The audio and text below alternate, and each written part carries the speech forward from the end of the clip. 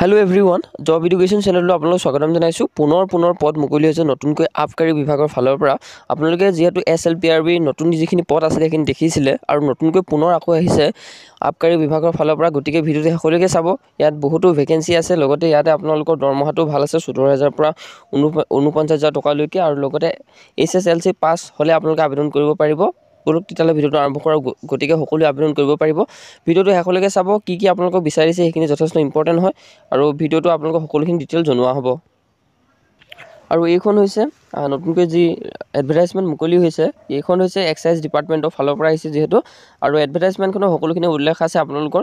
আৰু ইয়াৰ বাবে দুশ বাইছটা পোষ্ট আছে আৰু লগতে excise constable in excise department in the pay scale of rest fourteen thousand আৰু লগতে উল্লেখ কৰা আছে forty nine thousand pay' band number two and grade pay' five thousand plus other allowance as admissible under the rules বুলি উল্লেখ আছে। আৰু লগতে ইয়াতে আপোনালোকৰ উল্লেখ কৰিছে অনলাইন কেতিয়াৰ পৰা আবেদন হ'ব?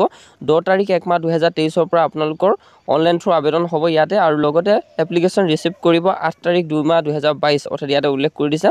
অৰ্থাৎ আজি আপোনালোকৰ ফেব্ৰুৱাৰী আঠ তাৰিখৰ পৰা লাষ্ট ডেট হ'ব আৰু লগতে ইয়াতে উল্লেখ কৰিছে দহ তাৰিখৰ পৰা আবেদন হ'ব। জানুৱাৰী দহ তাৰিখৰ পৰা আবেদন হ'ব আৰু লগতে ইয়াতে আপোনালোকৰ সকলোখিনি detail of vacancies as per post based roster দিয়া আছে কেটেগৰী আৰু লগতে unreserved O' B C M O' B C S C S T P আৰু লগতে এছ টি এইচ এনেধৰণে আছে। আনৰিজাৰ্ভৰ কাৰণে এইট্টি আছে আৰু ফিমেলৰ কাৰণে থাৰ্টি ফ'ৰ এনেধৰণে আপোনালোকৰ all total one hundred fourteen আছে আনৰিজাৰ্ভৰ বাবে। আৰু লগতে টোটেল যদি আমি চাওঁ গোটেইখিনি কেটেগৰী মিলাই তাতে টু হাণ্ড্ৰেড টুৱেণ্টি টুটা আছে এলিজিবিলিটি ক্ৰাইটেৰিয়াখিনি আপোনালোকৰ উল্লেখ আছে। আৰু লগতে যিহেতু অসমৰ কেণ্ডিডেটে ইয়াতে এপ্লাই কৰিব সেইকাৰণে এইখিনি নকলেও হ'ব। আৰু লগতে ইয়াতে উল্লেখ আছে আপোনালোকৰ এমপ্লয়মেণ্ট এক্সচেঞ্জটোত থকাটো কম্পালচৰি হয় আপোনালোকৰ নামত। আৰু লগতে আপোনালোকে আছামিজ লেংগুৱেজটো ভালকৈ ক'ব পৰা হ'লেই হ'ল।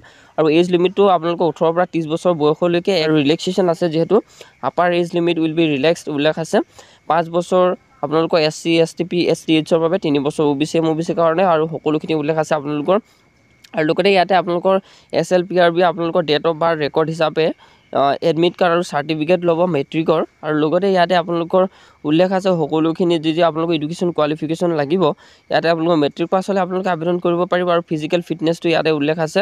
আৰু ইয়াতে আপোনালোকৰ যিহেতু ফিজিকেল ষ্টেণ্ডাৰ্ডখিনি কি কি ৰাখিছে general O' B C M O' B C S চিৰ কাৰণে যদি মেলসকলে আবেদন কৰে তেতিয়া one sixty two point five six centimetre আৰু লগতে ফিমেলসকলে আবেদন কৰিলে one fifty four point nine four centimetre গতিকে ইয়াতে আপোনালোকৰ পুৰুষ আৰু মহিলাসকলেও আবেদন কৰিব পাৰিব। বহুতে সুধিছিলে যে পুৰুষ আৰু মহিলা আবেদন কৰিব পৰা হ'বনে নহয়। মহিলাসকলেও আবেদন কৰিব পাৰিব ইয়াত। আৰু লগতে ফিজিকেল ষ্টেণ্ডাৰ্ড কেটেগৰীখিনি দিয়া আছে। নিশ্চিতৰূপে চাই ল'ব ইয়াতে। আৰু লগতে আপোনালোকৰ উল্লেখ আছে ইয়াতে মেডিকেল ষ্টেণ্ডাৰ্ডখিনিও দিয়া আছে। আৰু কেনেধৰণে আপোনালোকে আবেদন কৰিব মই যিহেতু আপোনালোকৰ তাৰিখটো দিলোঁ ইয়াতে উল্লেখ আছে আপোনালোকৰ S L P R B Assam dot in ইয়াতে আপোনালোকৰ ইয়াতে ভিজিট কৰিলে আপোনালোকৰ যিহেতু আবেদন কৰিব পাৰিব। আৰু লগতে আপোনালোকে যদি আবেদন কৰিব নোৱাৰে নিশ্চিতভাৱে কমেণ্ট এটা কৰিব আপোনালোকক আবেদন কৰি দিয়া হ'ব যিমান পৰা হয়। আৰু লগতে ইয়াতে সকলোখিনি উল্লেখ আছে আপোনালোকৰ যি পাছপৰ্ট চাইজ ফটোগ্ৰাফ দিব লাগিব আপোনালোকৰ। আৰু লগতে আপোনালোকৰ এডুকেশ্যন কোৱালিফিকেশ্যন যিমান আছে আৰু লগতে আপোনালোকৰ ছিগনেচাৰ আৰু যি আপোনাৰ এমপ্লয়মেণ্ট এক্সচেঞ্জ আছে যিখিনি ইয়াতে উল্লেখ কৰিছে সেই সকলোখিনি আপোনালোকে দিলে আবেদন প্ৰক্ৰিয়াটো হৈ যাব।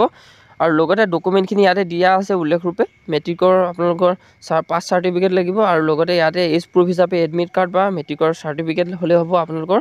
আৰু লগতে ইয়াতে মাৰ্কশ্বিট বিচাৰিছে মেট্ৰিকৰ আৰু লগতে এমপ্লয়মেণ্ট এক্সচেঞ্জ কাৰ্ডো লাগিব।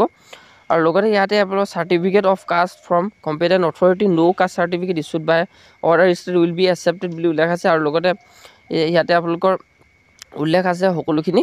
আৰু গতিকে আপোনালোকে নিশ্চয়ৰূপে আবেদন কৰিব যিহেতু বহুতে পদ আহিছে এইবাৰ আৰু যিখিনি আছাম পুলিচৰ নতুনকৈ পদ আহিছে সেইখিনি আপোনালোকে আবেদন কৰিব পাৰিব। ভিডিঅ' দিয়া আছে গতিকে সেই ভিডিঅ'খিনিও চাব। ভিডিঅ'টো ইমানতে সমাপ্ত কৰিছোঁ। আৰু লগতে ইয়াতে টোটেলখিনিও মাৰ্ক দিয়া আছে আপোনালোকে নিশ্চয়ৰূপে এইখিনিৰ ওপৰত বিশেষকৈ বেলেগ এটা ভিডিঅ' বনোৱা হয়। গতিকে ভিডিঅ'টো বেছি দীঘল নকৰোঁ। নিশ্চয়ৰূপে আপোনালোকে চেনেলটো ছাবস্ক্ৰাইব কৰি ৰাখিব।